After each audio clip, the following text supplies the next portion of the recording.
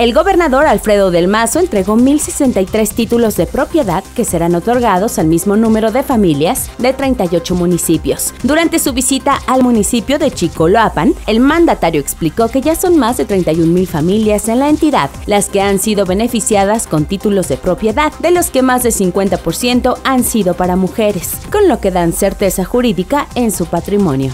Noticieros Teleurban.